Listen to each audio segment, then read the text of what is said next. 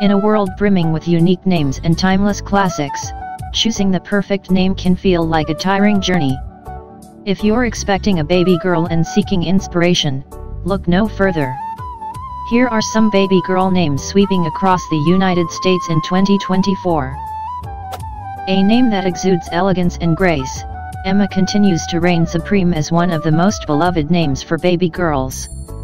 Its origin can be traced back to Germany, meaning whole or universal, symbolizing strength and completeness. With its timeless charm and gentle allure, Lucy captures hearts effortlessly.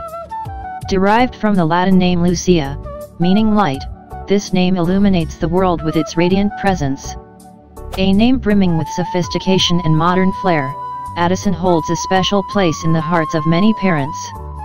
Meaning son of Adam, this name exudes strength and resilience. Like a guiding star in the night sky, Stella shines brightly with its celestial beauty. Originating from Latin, Stella translates to star, embodying brilliance and luminosity. As celestial as its meaning, Nova represents new beginnings and boundless possibilities.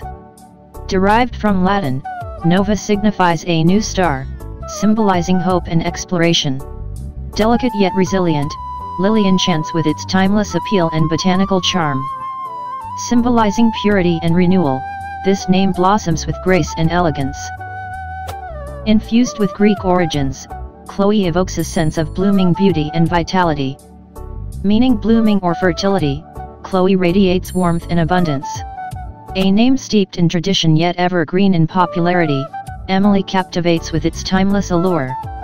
Derived from Latin, Emily translates to rival or industrious, embodying strength and determination. Majestic and regal, Elizabeth stands as a beacon of timeless elegance and grace. With Hebrew origins, Elizabeth means God is abundance, symbolizing divine favor and prosperity. With its gentle sophistication and timeless appeal, Olivia continues to charm generations.